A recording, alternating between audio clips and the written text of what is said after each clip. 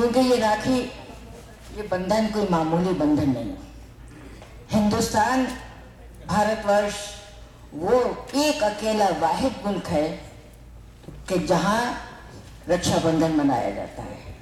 ये त्यौहार न हिंदुओं का है, न मुसलमानों का है, न सिखों ईसाइयों का है, ये हर भारतीय का त्यौहार है। और भारतीय जहाँ जहाँ फैलेंगे, वहाँ वहाँ ये त्यौहार भी फैल रहा है। चाहे वो पाकिस्तान हो, वहाँ भी मनाया जाता है। अमेरिका हो कोई भी मुल्क, जहाँ जहाँ हमारे पैर रखे गए, वहाँ वहाँ राखी चली गई। क्योंकि ये इतना खूबसूरत त्यौहार है, मुझे बता देना जब बंद करना हो तो। इतना खूबसूरत त्यौहार है कि जो एक बार इसको कर लेता है, वो कभी भूल नहीं पाता। और एक चीज़ मैं आपको बताऊँ, हमारे सगे भाई भी होते हैं, ब्लड रिलेशन वाले, और राखी बंधे भी होते हैं। लेकिन जो प्यार, जो मोहब्बत हमें अपने राखी भाई से होता है, वो सगे भाई से नहीं होता है। जो जो राखी बांधी है, जिस, जिसने भी, वैसे भीड़ में बांधने वाली बात नहीं, जो दिल से अकेले किसी को बांधा है अगर आपने तो उसके लिए सोचिए आपकी फीलिंग क्या होती है।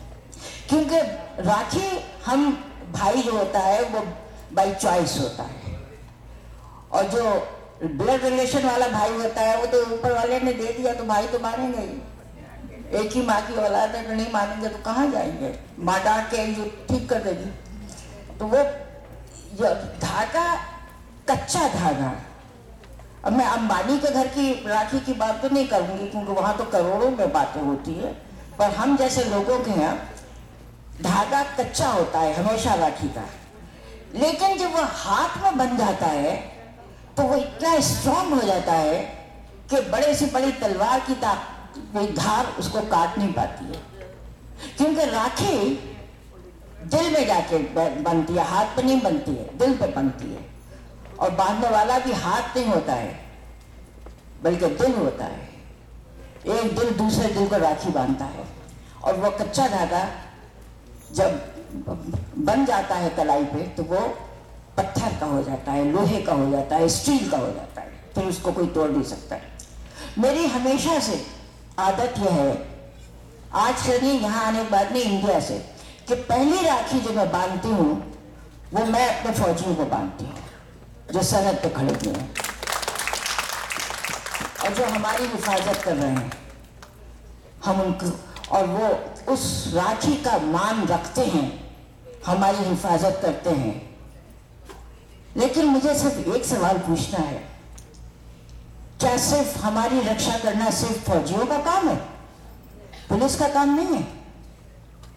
आप कहेंगे कि पुलिस बीच में कहाँ से आ गई? कलकत्ता की उस लड़की को याद कीजिए कि जिसके लिए पुलिस कुछ नहीं कर रही है, तमाशा देख रही है। रेप तो बहुत होते हैं। हिंदुस्तान में भी होते हैं, मुल्कों में हर जगह होते हैं, हर मुल्क में होते हैं। गंदी आदत है मगर होते हैं। लेकिन भयानक रेप नहीं होते। हर जगह। अब तो एक नया चलन चल गया है। रेप करो और ऐसे करो ऐसे करो कि जिससे ज़्यादा कोई भयानक चीज़ ना हो। और उसमें बहुत बड़ा हाथ मीडिया का है। आप पूछे मीडिया ने क्या किया? मीडिया तो उसकी सेवे वर्ग कर रही है। इतना ज़्यादा उछालते हैं, इतना उछालते हैं तो दूसरे लोगों को भी अट्रैक्शन होता है उसमें। कि अच्छा ऐसे भी होता है? चलो, हम भी ट्राई करके देखेंगे। सोचो जरा। सोचो जरा उस बच्ची का, जिसको बिटिया का नाम दिया गया है, उसका नाम पब्लिक में नहीं आ रहा है, सिर्फ़ बिटिया आ रही है, कलकत्ता की बिटिया। अब मैं कहती हूँ कि क्यों? क्या लड़कों का को ट्रेनिंग की ज़रूरत नहीं? किसी ने ये कहा कि वो ऐसे कपड़े पहन के क्यों निकलती है जो बाहर, जो लोग दूसरे अट्रैक्ट हो? तुम लड़कियों को सब कह रहे हो? गलती लड़की की यानी मारे भी वही, बर्बाद भी वही हो और गलती भी उसी की कर दिया। ना। ये माँ, हमारा कसूर है कि हमने अपने लड़कों को गलत तालीम दी है। हर माँ को मैं कहूँगी, आवाज़ दूँगी माँ को कि माँ, उठो, अपने बेटों को संभालो, अपने बेटों को कंट्रोल करो। क्योंकि बगैर बाप का तो बेटा हो सकता है। हो गया मगर बगैर माँ के तो कोई बेटा नहीं होता। ये तो नहीं हो सकता ये तो हो सकता है कि किसी को ना मालूम हो हमारा बाप कौन है। या ये कि बेटे, किसी को ना मालूम हो कि हमारा बेटा कहाँ कहाँ दुनिया में है। लेकिन माँ तो ऐसी कोई दुनिया में नहीं होती जो पैदा करके भूल जाए कि उसका बेटा कहाँ पर है। तो बस मुझे टाइम की पाबंदी है। मैं सिर्फ़ इतना ही कहूँगी हर माँ से कि आज जो कुछ भी हुआ है, जो हो रहा है, जो आगे भी होता रहेगा, खुदा के लिए अपने बेटों को संभाल लो। क्योंकि बेटों को संभाल लो, दुनिया से सब कुछ मिट जाएगा। सोचो इसकी जगह अगर हमारी अपनी बेटी होती तो हम क्या करते? क्या ऐसे ही बैठे रहते आराम से? नहीं कभी नहीं। बस मेरी अंतिम गुजारिश यही है हर माँ से अपने बेटों को संभाल लो।